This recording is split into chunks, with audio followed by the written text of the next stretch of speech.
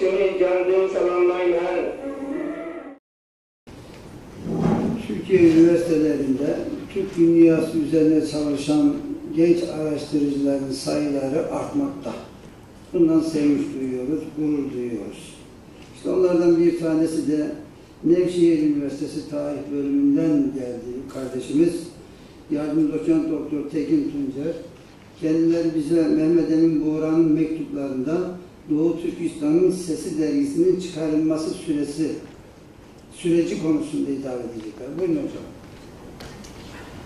Teşekkür ederim Sayın Başkanım. Ee, Sayın Başkan, değerli hocalarım ve e, değerli misafirler, öncelikle e, bu sempozyum, sempozyumun düzenlenmesinde emeği geçen e, hem İstanbul Üniversitesi Türkiye Enstitüsü'ne hem de Doğu Türkistan Vakfı'na e, çok değerli e, idarecilerine teşekkür ediyorum.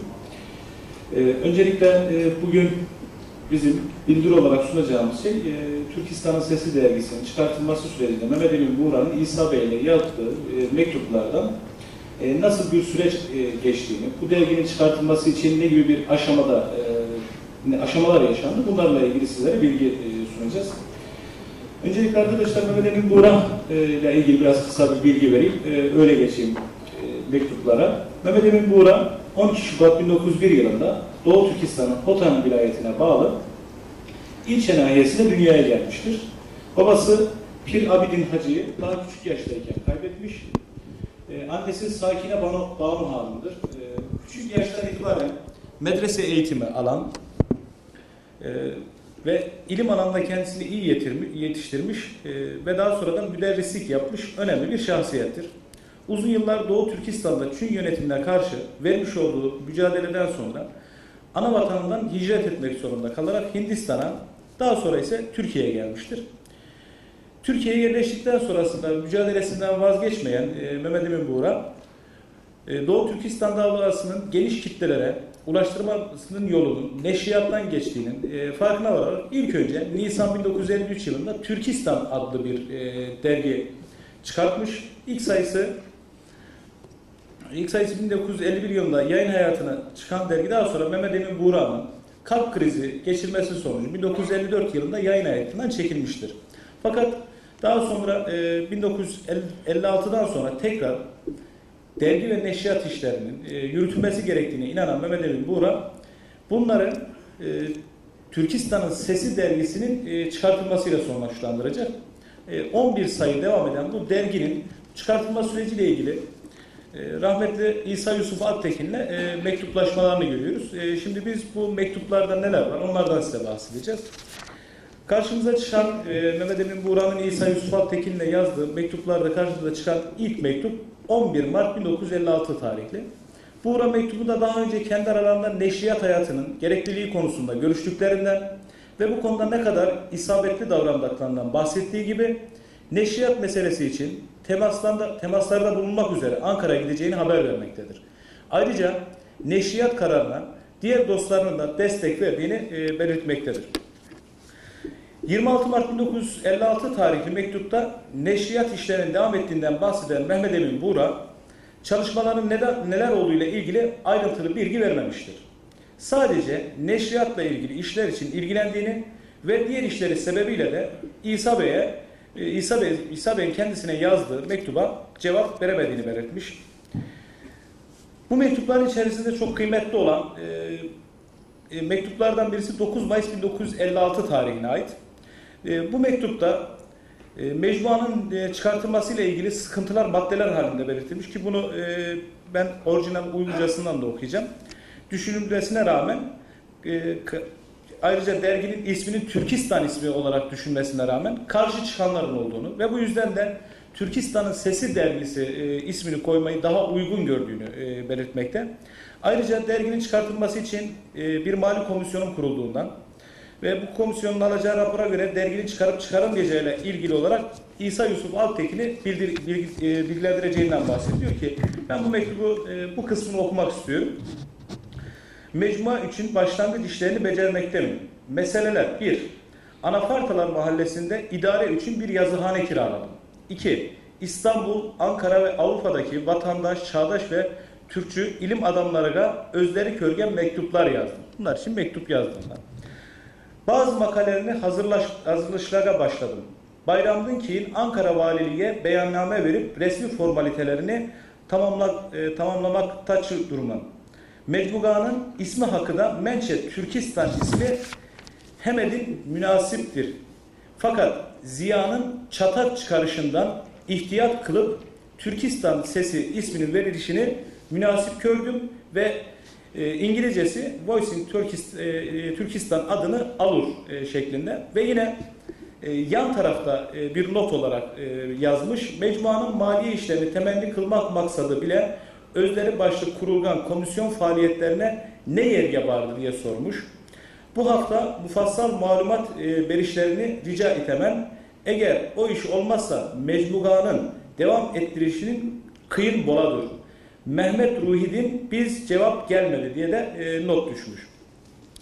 Bunu diğerlerinde böyle okumayacağım ama e, bu önemliydi. Bu e, Anafartalar Caddesi'nde yer tutması e, yine Avrupa'dan yardım istemesi e, noktasında olduğu için e, okudum. Bir diğer mektup 1956, 17 Mart Mayıs 1956 tarihli mektupta mecbuanın çıkartılabilmesi için gerekli olan, olan yazıların toparlanması e, sürecinde olduğunu belirten Buğra, yazılarının bir an önce kendi, kendisine ulaşmasını temenni ettiğini belirttiği gibi tüm mesaisini derginin çıkartılması için harcadığından bahsetmektedir. 23 Mayıs 1900 tarihli mektupta tüm mesaisini mecmuanın çıkartılması için tasarruf etmesine rağmen işlerin çok da yolunda gitmediğinden, özellikle yazı göndermesi gereken kişilerin yazılarını göndermediğinden ve artık mecmuanın çıkartılması gerektiğini, ilk sayının tüm makalesinin gerekirse kendisini yazıp birinci sayıyı e, basmayı düşündüğünden e, bahsetmektedir. Yine e, 28 Mayıs 1956 tarihli mektubunda mecmuanın yayın hayatına çıkması için gerekli olan resmi işlerle ilgili evrakların teslim edildiğinden ve mecmuayı 15 e, Haziran 1956'da matbaaya verip 1 Temmuz 1956'da ise yayınlamayı düşündüğünü e, belirtmektedir. Ayrıca o dönemde e, Türkiye'deki durumla alakalı bir tespitte bulunmuş. Türkiye'de ka kağıt kıtlığı sebebiyle de e, bundan bahsetmiş. Bundan dolayı da gecikme olabileceğini e, ifade etmiştir. 16 Haziran 1956 tarihli mektubundan mecmuanın Türkçe sayısının matbaa verildiğini, İngilizce sayısının ise Temmuz başlarında matbaa vermek için gayret sarf ettiğini belirtmiş. Ayrıca mecmuanın çıkartılmasında Ali Rıza ve Settar'ın gayretlerini takdir ettiğini e, belirtmektedir. 25 Haziran 1956 tarihli mektubunda mecmuanın tanıtımı için faaliyetlerde bulunduğundan bu doğrultuda Ankara'daki gazetelere ilanlar verildiğini, mecmuadan daha geniş çevrelerin haberdar olabilmesi için Hürriyet ve Cumhuriyet gibi Türkiye'deki büyük gazetelerde de ilanların çıkartılmasının gayret edilmesi gerektiğinden e, bahsetmektedir. Ayrıca bu ilanlar için gerekli olan maliyet analizlerinden de söz etmiştir. Mesela burada e, Ulus gazetesinin e, yayını için 25 lira, e, mesela Zafer gazetesi için 35 lira olduğundan da e, bahsetmekte. 4 Temmuz 1956 tarihli mektupta maddi imkansızlıklara ve makalelerin toplanmasındaki sıkıntılara rağmen uzun zamandan beri çıkartmak için meşgul oldukları Türkistan'ın Sesi Mecmuası'nın Türkçe sayısının neşredildiğini ancak İngilizcesinin halen basılmadığını haber vermektedir.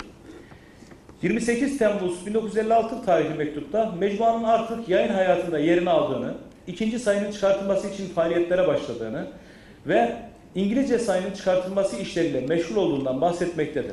Ayrıca bu işlerin zahmetli olması ve zaman gerektirmesi sebebiyle İsa Yusuf Alptekin'in yazmış olduğu mektuba geç cevap vermek zorunda kaldığını belirtmektedir. 29 Ağustos 1956 tarihli mektubunda mecmuanın yeni sayısının basılmak için Eylül ayının Eylül ayının başlarında matbaaya vermeyi düşündüğünü e, haber vermektedir. Ayrıca bu mektupta İsa Bey'den makale göndermesini rica etmektedir. 6 Eylül 1956 tarihli mektupta mecmuanın yayın hayatının devam ettirilmesi için gerekli maddi desteği sağlayabilmek gayret, gayesiyle Kerim, Polat ve Hasan adlı kişilerin mecmuanın abone işlerini yürütmesi için atandığını belirtmektedir. Mektubun ayrıca Buğra'nın mecmua dışında da faaliyetlerde uğraş, e, e, uğraştığını, Milliyetçi Çin hükümetine verilmek üzere bir muhtıra hazırladığını, adını belirtmediği ancak general olarak sık sık ki bu e, ben diğer mektuplarla inceledim sürekli general diye birinden bahsetmekte. Zikrettiği bir kişiyle de e, temas halinde olduğu anlaşılmaktadır. 13 Eylül 1956 tarihli mektubunda İsa Bey'in makale yazmasından memnun olduğunu belirtmiş, mecmuanın 3. sayısını çıkartma zamanının gelmesine rağmen halen basılmadığını, gecikmenin temelinde neler olduğunu bahsetmiş olsa da bunun sebepleri düşünüldüğünde yazı gönderilmesi gereken kişilerin göç göndermeleri, maddi sıkıntılar ve belki de kendinin mecmua dışında da uğraşmak zorunda işlerin olduğunu e, görmekteyiz. Yine e, Türkistan davasında olan e, katkısının farkında olan Buğra'nın mektubunda zaman geçmesine rağmen 3. ve 4. sayının birlikte bastırmak için gayret sarf ettiği anlaşılmakta. Ayrıca 3. ve 4. sayıların birleştirilerek 48 sayfa halinde basılmasını uygun gördüğünü mektubunda belirtmektedir. 25 Eylül 1956 tarihli mektubunda ise İsa Bey'in göndermiş olduğu makale, makaleleri aldığını ve bazı düzeltmeler yaparak basmaya gönderdiğini, e, başlığının ise Doğu Türkistan ekonomisi ve stratejik bakımdan ehemmiyeti e, olacağını ifade etmektedir. Yine İsa Bey'in göndermiş olduğu ikinci makalenin ise diğer sayılarda çıkacağından bahsetmiştir.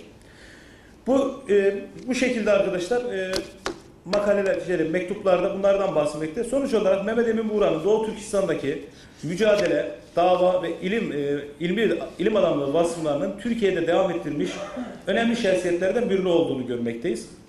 Yukarıda da izah ettiğimiz gibi mecmuanın çıkartılması safhasında ekonomik sıkıntılar, makalelerin toplanmasındaki zorluklar bu mecmuanın yayın hayatına geç girmesine neden olmuştur. Yine aynı zamanda Mehmet Emin Buğra'nın ilmi adamlığı dışında, dışında siyasi bir e, kimliğe de sahiptir. Bir taraftan Türkistan'ın sesi mecmuasının çıkartılması için gayret sarf ederken Çin'e karşı yürütülen siyasi işlerle de meşgul olmuştur. Türkistan davasının geniş çevrelere ulaştırılmasının bir ülke olduğundan hareketle Türkistan'ın sesi mecmuasını çıkartılması için gayret sarf etmiş ve yaşadığı dönemdeki fikir hayatına bu davayı ulaştırmanın mücadelesini verdiği gibi sonra gelecek ve bu davayı daha ileriye götürecek kişilerin de önünü açmıştır. Bu neşriyatlar sayesinde birçok insan Doğu Türkistan davasından ve orada yaşadıkları sıkıntıların neler olduğundan haberdar olmuşlardır. Tüm mücadelesine rağmen özellikle maddi sıkıntılar yüzünden 11 sayı olarak çıkan dergi Mayıs 1957 yılında yayın hayatından çekilmek zorunda kalmıştır. Milliyetçi Çin hükümetinin yurt dışındaki propagandasının etkisiyle dergiye yardımda bulunan Suudi Arabistan'daki muhacirler maddi konularda destek olmaktan çekindikleri için Mehmet Emin Buğra ve arkadaşlarına mali konularda destek olmamışlardır. Bu olumsuzluklara rağmen makale toplanmalarının da e, eklenince dergi yayın hayatından çekilmek zorunda kalmıştır. Ben dinlediğiniz için hepinize teşekkür ederim.